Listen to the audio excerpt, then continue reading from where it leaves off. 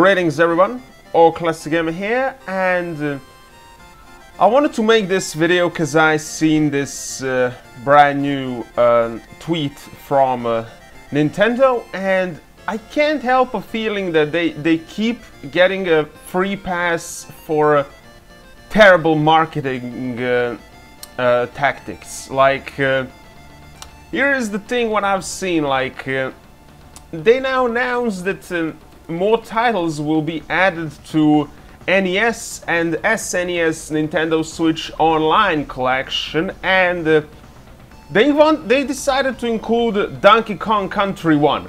Not all games, just the first one, but um, and some more stuff, but um, I'm just uh, giving Donkey Kong Country as an example because uh, a lot of people wanted to play this on, on Nintendo Switch and um, I don't know, they just give now this one game and you can see how many likes this is getting. We can scroll for the comments and uh, we're just um, we're just seeing uh, like like positive responses like thank you finally uh, like the people are just celebrating uh, the fact that um, they decided to add the first game and now this person is begging for uh, a second and the third game as well, and um, yeah, more more like screenshots, uh, gifs from the game, and some memes. But overall, what we can see here universally is uh,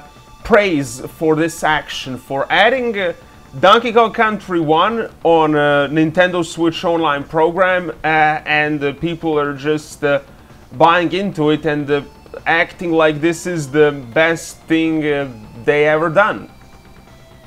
Well, I want to say my honest opinion about this, and in my opinion, this is a horrible tactic. This is uh, well, well, well, well, it is proving for them to be uh, profitable because the responses are are positive. But um, the thing is, uh, this shouldn't be like this. Like uh, why are people buying into it? And I'm just gonna I'm just gonna explain what I mean.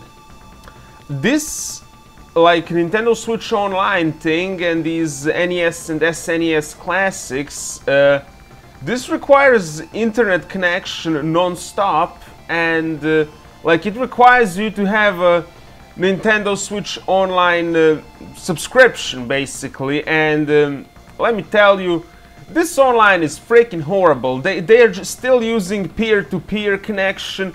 They don't have any dedicated servers. It's, it's just not justified that you're, you're gonna pay um, any sort of fee for this online. And they're trying to justify by offering classic NES and SNES games. Like, oh, you subscribe to our online subscription service, and you're gonna get some games that we select for you that you can play online, basically. And uh, I don't know, but this is just so so stupid. And let me say why. Because Donkey Kong Country was released already first on um, on Wii when it comes to all the digital releases like uh, Virtual Console on Nintendo Wii uh, was the first uh, one that released this game and the people had to buy it uh, then. And then, not only that, but uh, if you wanted to get this on uh, Wii U, you had to buy it again. You, you, you didn't have like there was some service for like cross um, buying uh, like it wasn't a cross buying but it was like a transfer. Uh, like if you you could transfer virtual console games uh, from Wii onto Wii U but uh, here was the here was the catch. You were then only able to play them in a, a virtual Wii mode. You couldn't uh, play it um, from a, a like Wii U gamepad and stuff like that. You had to play it from virtual Wii mode and you had to use Wiimotes or classic controllers. So it was still like a double emulation. What the hell? And um, if you wanted to have the authentic experience on Wii U you you had to buy it again on eShop. Now the thing is I can understand that virtual console and the account system on Wii and Wii U is different and that, that's okay. But the thing is, they should have made that uh, you could transfer uh, the games from a, a Wii onto Wii U by using uh, like um, sort of transfer mechanism, but you get the Wii U version of the games which are compatible with eShop. Like there was supposed, in my opinion, the only morally justified thing to do for the buyers who already bought Donkey Kong uh, Country on uh, Wii was uh, to to allow uh, to allow them to like you, you type the friend code stuff and you can transfer all the games that are released uh, on Wii U. You could get Wii U versions of them for free on your brand new Nintendo Network account and you could download from eShop. That is the only morally correct thing to do. But okay, you can forgive it one time. But now, you, you, you bought all those games on, on Wii U, uh, like Donkey Kong Country and any other Super Nintendo or uh, Nintendo game uh, out there.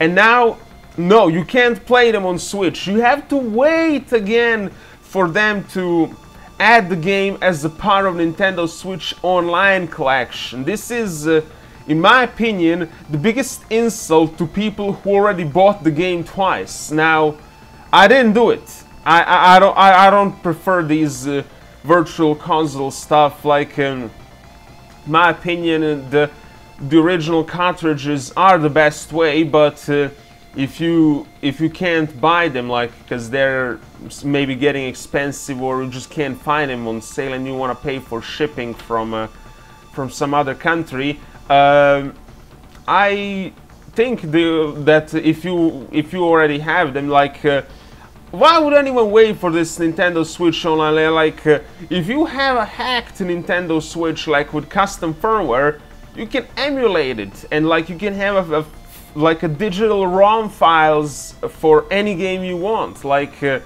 but now the, the people who don't have it hacked, they're just relying on this online system. Like you're paying for a shitty online.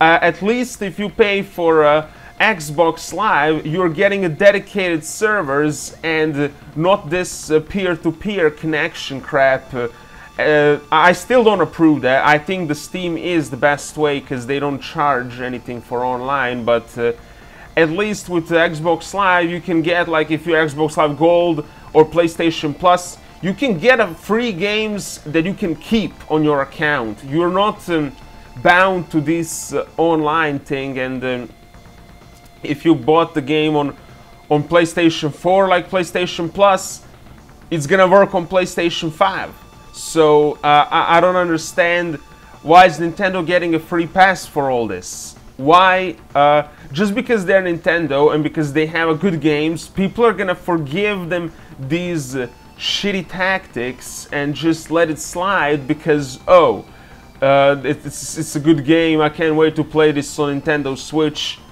I don't know. Fuck this shit. I don't approve it.